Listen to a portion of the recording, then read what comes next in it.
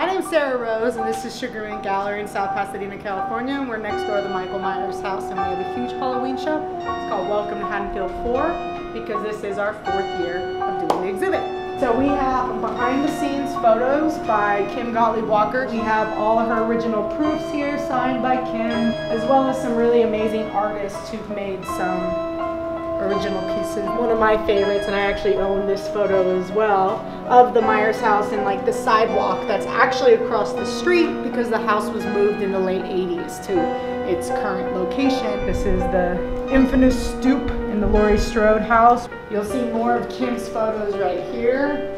You see him lit perfectly, but also the Haddonfield Memorial Hospital, which is actually Van Nuys, I think, Memorial, or just Van Nuys. It's in Van Nuys.